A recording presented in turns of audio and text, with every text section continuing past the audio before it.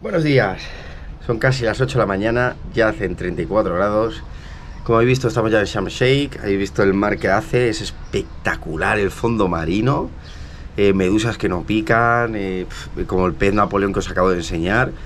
Eh, son peces, tío, que pesan casi 200 kilos, que te acojonas cuando se te acercan. Bueno, una de las peculiaridades que tiene aquí también es como está lleno de coral, no puedes, no puedes entrar en la playa directamente caminando, sino hay una pasarela, te tiras al agua y ya te puedes acercar.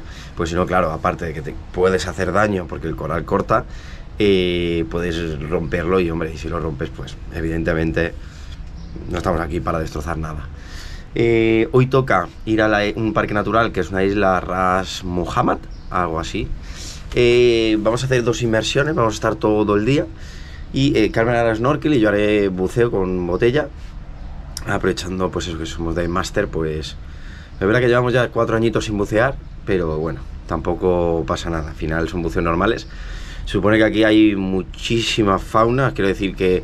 eh, a ver, en Ibiza también supone que hay tiburones, delfines, tortugas, pero es muy, muy difícil viendo. Yo buceando nunca he visto ni una tortuga, ni un delfín, ni un tiburón. Sí he visto algún delfín pues desde el barco, pero de los otros ninguno.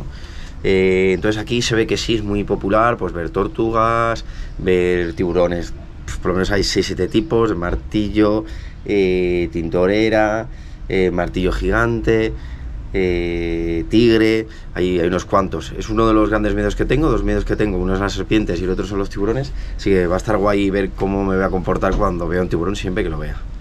Así que nada, vamos a por ello. Y por cierto, se me ha jodido la GoPro. Por suerte que he traído otra GoPro. Qué mala suerte tengo, ¿eh?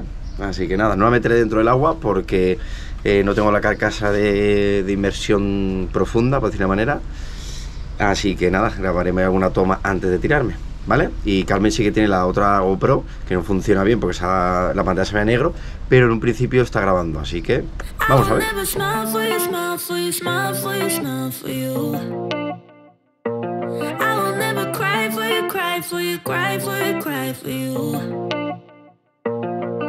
I can take